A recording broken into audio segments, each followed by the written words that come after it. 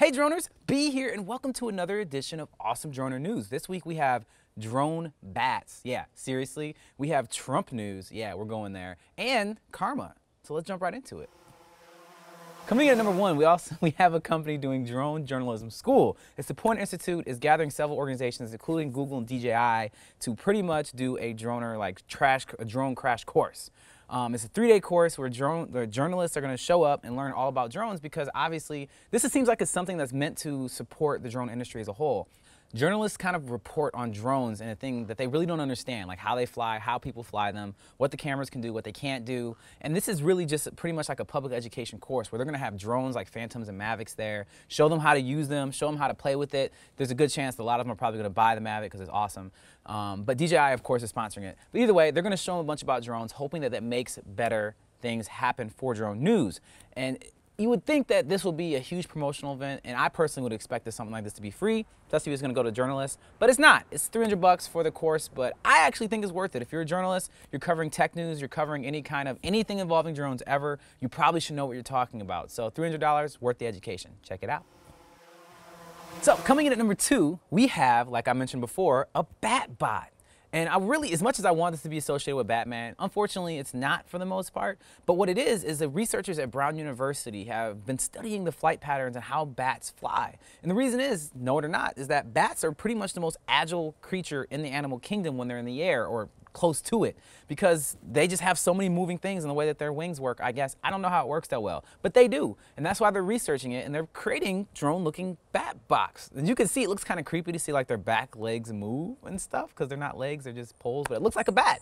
Weird. And this could be determining the way that you're going to be buying drones in the future because right now you're looking at a uh, like a multi-rotor or a fixed-wing drone. You might be looking at a Batbot as well in the future because they fly so well and they're so agile and like for indoor flying and all that. As you can see from the way that it's not flying that well yet, it's probably going to be a few years, out, few years out before we can actually do anything with this. But I'm super excited about it because how much fun would it be to fly a bat? Like seriously, let's. I want to do it. Coming in at number three 3D Robotics gets a waiver to fly in Class B airspace. Big deal, no waivers to fly in Class B airspace have been given yet until this moment. And the reason they got this waiver is because in Atlanta, they needed some 3D mapping of their parking garages to be able to do a huge construction project. And as you know, 3DR has been getting their butt kicked by DJI when it comes to commercial drone use, specifically with cameras. So they've been kind of shifting their whole focus to go, oh, oh no, we're more in industry or industrial kind of way. So this is a, a step towards that direction using their drones to be able to map out things for the uh, airport so they could build stuff better. Um, this is a big deal because obviously drones can fly in Class B airspace if well regulated, and the FAA is showing that you know if they have faith in the organization like 3D Robotics, then they can do it. So hopefully this means that the regulations or the way that you can get permits to be able to fly in classes of airspace you normally can't will go a little bit easier in the future. But I'm not going to get my hopes up yet because they still haven't even approved my fly at night request. All right, coming in at number four. I know last week that I told uh, the last week on Drone News, I said that you know we're kind of excited about the Secretary of Transportation um, because they didn't like to regulate, which means that drone stuff might not be regulated all that well.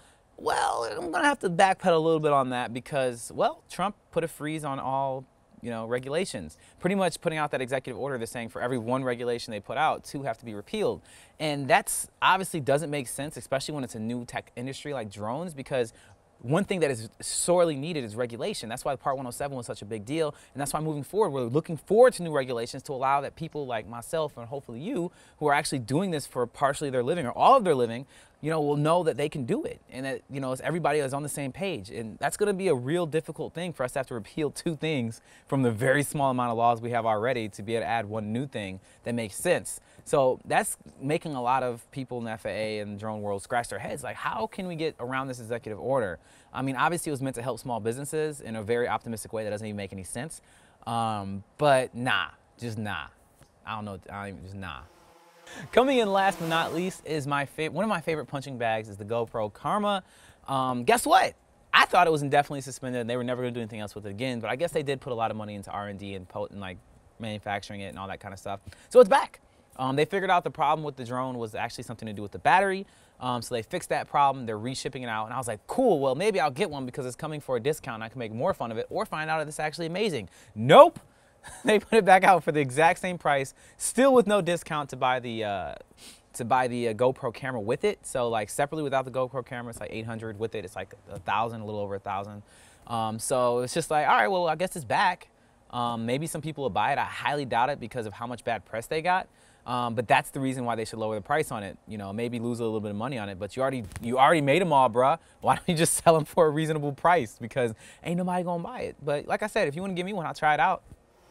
Droners, thank you for checking out this edition of Droner News. And if you want to see more editions of things like Droner News, you can click right about here. Or if you want to see the welcome video, whatever video they decide to put up that's up here that sometimes doesn't match what I say, you can click right here. Otherwise, make sure that you go ahead and subscribe. That allows us to allows us to keep doing what we're doing, as well as we have a Patreon link below. You should check it out. It's dope.